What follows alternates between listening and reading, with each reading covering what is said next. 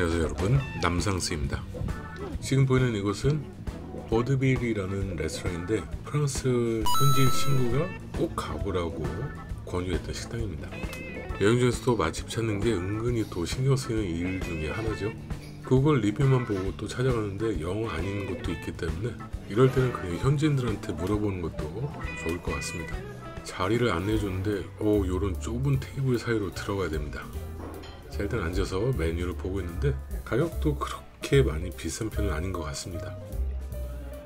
좀 이른 시간이어서 사람들이 아직 많지는 않습니다. 먼저 해산물 platter를 주문했습니다. 주문하면 이렇게 빵이 나오는데 바삭하게 구워진 바게트 빵입니다. 아 드디어 모든 해산물이 나왔습니다. 굴과 새우 아 그리고 골뱅이 소라 저런 것들이 올라가 있습니다 랩을 좀 뿌린 다음에 프랑스 굴 요리. 음. 굴은 정말 신선하고 깨끗한 맛입니다. 방금 갓 잡아 올린 그런 맛. 음, 상당히 쫀쫀한 맛인데 진짜 살짝 매콤한 맛이에요. 살짝 많이 맵진 않은데 살짝 매콤한 그런 맛이에요. 여기는 새우는 누구나 다 아는 그런 새우 맛. 버터도 같이 나오는데 꼭 사탕처럼 생겼죠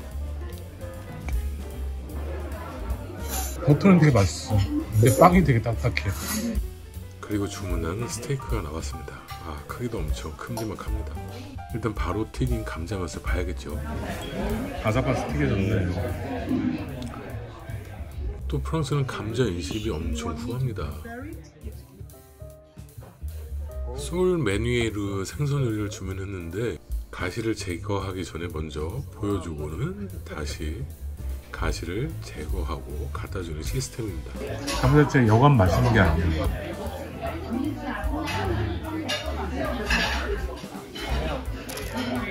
감자부터 진짜 미쳤네. 맛이. 광어를 뼈를 분리해가지고 갖다 줬네요. 약간 생선, 신선한 생선 냄새와 부드러운 버터 냄새가 섞여서 엄청 노릇노릇하게 구워졌네. 살 먼저. 살이 엄청 실해요. 나이프도 생선용이랑 고기용이랑 틀린데 아, 생선용은 저렇게 좀 넓적한 게 특징입니다. 이걸로 썰어 놓은 다음에 포크로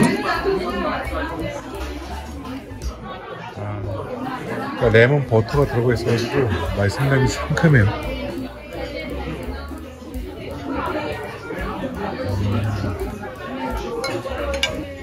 자 스테이크도 한번 선홍빛으로 익었다.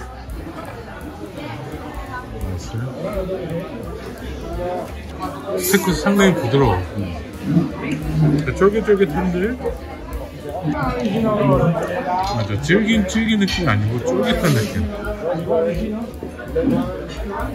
소스 상당히 마일드하고 통감자 맛을 잘했어. 통감자 맛이 궁금해. 감자도 상당히 부드럽고 햇감자 느낌 나. 이제 디저트를 먹어볼 건데 crepe suzette를 주문했습니다. 저렇게 술을 올려서 불쇼를 화려하게 보여주고 있습니다. 잘 구워진 suzette가 등장했습니다.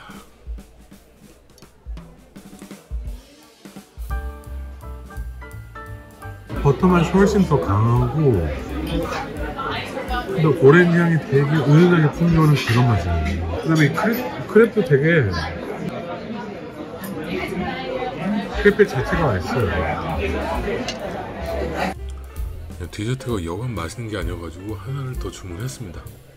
수플레를 주문했는데 초콜릿 무스 같은 그런 식감의 수플레입니다.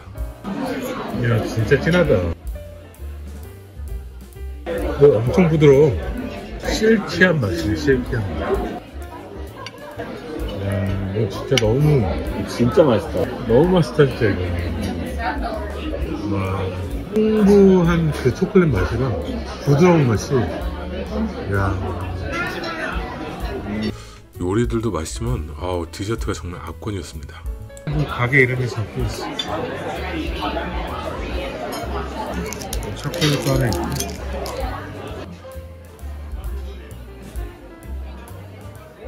예전에 이곳은 스탠드업 코미디 같은 쇼를 했던 극장이라고 합니다.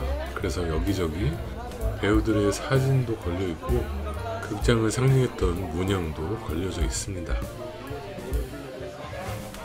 자, 정말 맛있게 먹고 나왔습니다.